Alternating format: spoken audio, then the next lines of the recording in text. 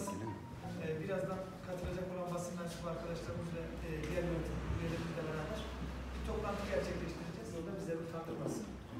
E, sözü ben önce Orhan Bey'e vereyim. Çünkü Kendisi genel merkezden e, kurucu üyemiz. Kendisi de kendisini sizlere takdim edecek. Ben Or Orhan Kemal Oktay. Ee, Kars Selim ilçesinde ikamet et- etmekteyim. Esnafım. Hepiniz hoş geldiniz. Teşekkür ederim. Teşekkür ederim. E, İsmail Bey, İsmail Yüce, Merkez İlçe Başkanımız. Evet. Ben de aynen Kars'ta oturuyorum. İnşallah hepimize hayırlı uğurlu olur. Saygılar sunuyorum. E, Necip Bey sırayla devam ediyoruz. Kimse kusurumuza bakmasın. Yabancı da olmadığı için Necip Bey Ben e, Kars'ta ikamet etmekteyim. Kars esnafıyım. Dava arkadaşlarıma hayırlı olsun. Suat Polat, Kars merkezde oturuyorum. Esnafım. Yol arkadaşlarıma başarılar diliyorum. Hayırlısı olsun diyorum. Ben Maksut Kutluhan Uray, Deva Partisi Fahri Kurucu üyesiyim. Merkez İlçe Teşkilatı'nda görev aldım. Esnafım, 28 yaşındayım. Bütün dava arkadaşlarıma başarılar diliyorum. Ben Latif Yarımdağ müteahhitim. Kars'ta ikamet ediyorum. Bütün arkadaşlarıma başarılar diliyorum. Ben Sayın Altalay, Kars'tayım. Esnafım. Bütün parti arkadaşlarıma başarılar diliyorum. Ramazan Atalay, Kars'ta esnaflık yapıyorum. Yeni kurulmuş olan partide eee arkadaşlarımla birlikte inşallah iyi yollar alacağız. Halit Kondakçı, esnafım. Ee, yeni partimizin hayırlı olmasını diliyorum. Mithat Fenşat, esnafım. Partimize başarılar diliyorum. Sidar İskender Yüceyurt, inşaat mühendisiyim. Ee, bu memleketimize ve e, ülkemize hayırlı olmasınız. Olcay Kızgın, Kars'ta yaşıyorum. Bütün parti arkadaşlarıma teşekkür ederim. Başarılar dilerim. Abdülaziz Kazaklı, Kars'ta yaşıyorum. Bütün arkadaşlarıma başarılar diliyorum. Serkan Tazegül, bir şirkette çalışıyoruz. Tüm dava arkadaşlarımıza başarılar diliyoruz. Erdal Okumuş, turizmciyim. Hayırlı olmasını diliyorum. Yusuf Reşitoğlu, turizmciyim. Ee, partimizin vatanımıza, milletimize hayırlı olmasını dilerim. Betül Karakuş, esnafım. Kars merkezde yaşıyorum. Deva Partisi Fahri Kurucu üyesiyim. Partimizin herkese hayırlı olmasını diliyorum. Ben Zeynep Öztaş, Kars Kazman'da ikamet etmekteyim. Ee, iki çocuk annesiyim, evliyim. Ee, siyaset bilimi ve kamu yönetimi mezunuyum. Vatanımıza ve milletimize hayırlı olmasını temenni ediyorum. Hacer Ergen Çatalay, avukatım. Ee, partimizin vatanımıza, milletimize hayırlı olmasını temenni ediyorum. İnşallah güzel çalışmalarımız olacaktır. Müslüm Meriç ben, turizmciyim. Partimizin e, hayırlı olmasını diliyorum. E, Herkese tekrardan hayırlı olsun diyorum. Ben Nusret Erdağ, AKK ilçe başkanıyım. Esnafım. Allah hayırlı uğurlu etsin vatana millete.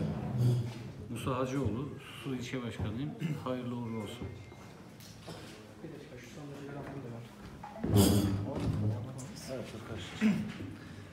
Öncelikle Serhat şehrimizin değerli basın mensupları. e, Dün sizlere yapmış olduğumuz davete icabet ettiğiniz için sizlere ayrı ayrı teşekkür ediyorum. Malumunuz üzere e, Demokrasi ve Atılım Partisi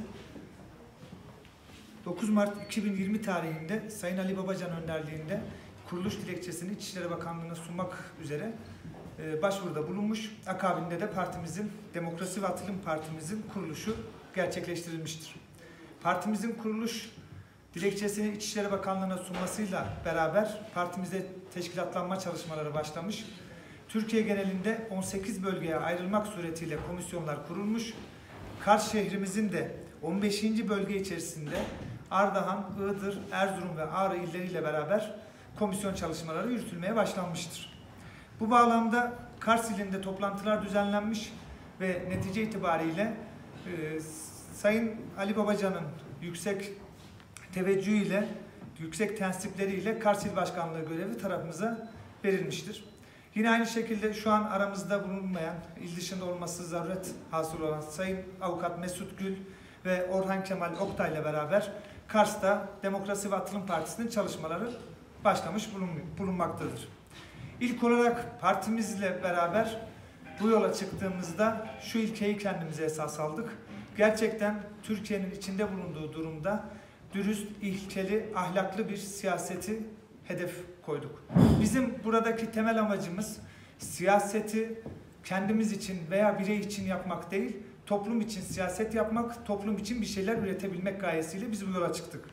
Sayın Genel Başkanımızın parti kuruluş tüzüğünde ve parti kuruluş çalışmalarında ısrarla ve defaatle dile getirdiği üzere bizim partimizin temeli iyi insan üzerine kurulu.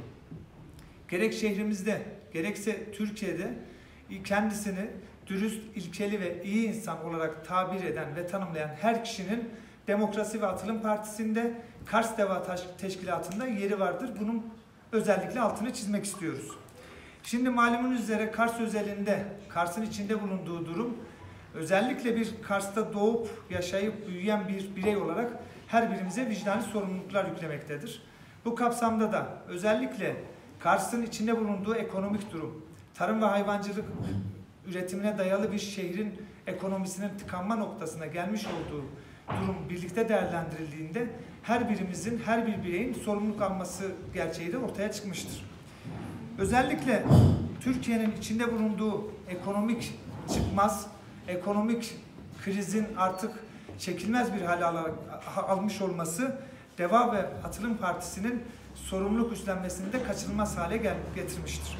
Demokrasi ve Atılım Partisi olarak, Deva Partisi olarak gerek Türkiye genelinde gerekse Kars özelinde bizim yapmamız gereken öncelikle gerçekten hiçbir şekilde hiçbir baskıya, hiçbir zorlamaya ve hiçbir şekilde birilerinin egemenliğine bırakılmayan hak ve özgürlüklerin temeline inilmesi noktasıdır.